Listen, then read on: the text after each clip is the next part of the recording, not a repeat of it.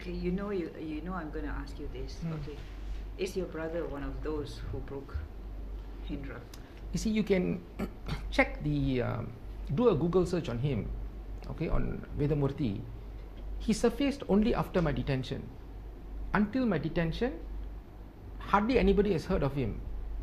I think everybody will know this, okay.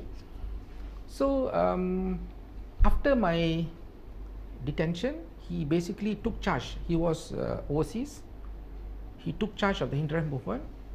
Um, of course, he was also slated to be arrested under ISA because one number ran. So his number, we, we guessed it was him. Initially, he was doing a perfectly fine job. Um, and then along the way, I believe there was a diversion. Along the way, there was a diversion.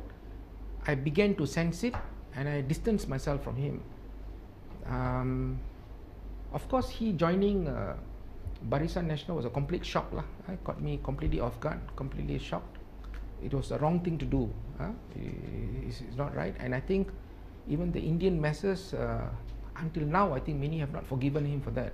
And the feedback I get is um, they felt betrayed. Lah. Do, do you speak to him? Do you have any relationship? You see, uh, put it this way, I'm not in touch with him, but uh, let's say my mother passed away. I spoke to him on one or two family matters. Yes, the answer is yes.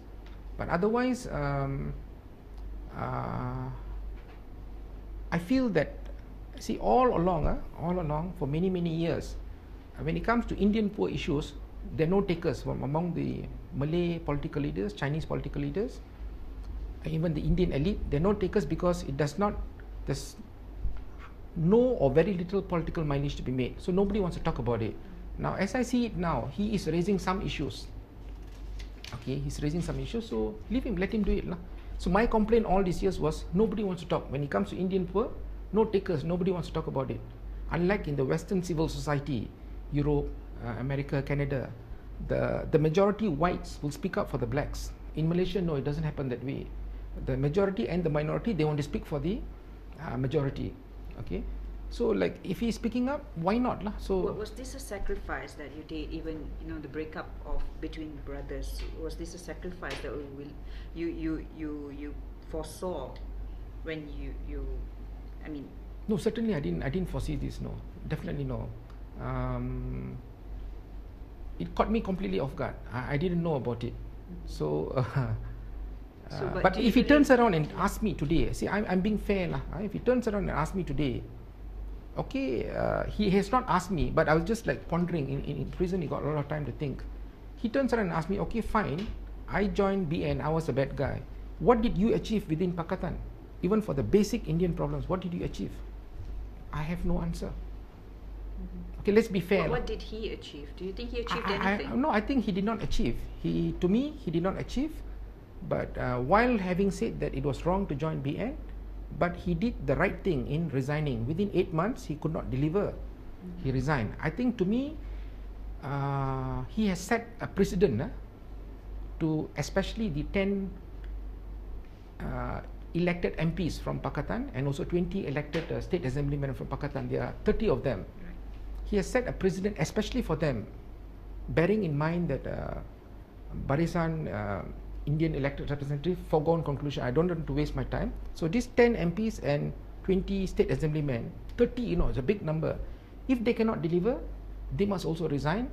Authority is Waythamoorthy. But do He has said the president, and before him, nobody has ever done it. But do you think that was the reason why he resigned? No, I think simple. He could not deliver. When he could not deliver, it was abundantly clear, and then he resigned. I think he it- forced to? me, to me, I think, uh, of course, uh, I think he did the right thing in resigning. Right. He has set the tone. He has set the precedent. You cannot deliver. You see, like uh, I had friends who were assemblymen and MPs. Okay, when it comes to the Indian poor problems, uh, we are not talking about the Indian lawyers, Indian doctors, Indian engineers. No. Uh, 70 80 percent of the Indian masses are the Indian poor, working class group, lower income group. Okay, for example, uh, in, in in prison, uh, like on Sundays lah, the prisoners Malay. I ask I ask the Malay prisoner, what are you going to do when you when you go out?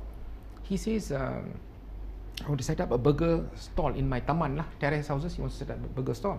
So I asked the Indian prisoner, "Can you set up a burger stall in your taman?" He says, "No." I asked, "Why not?" The answer, straight answer, is because I'm Indian. They will confiscate my stall within days. That is reality lah.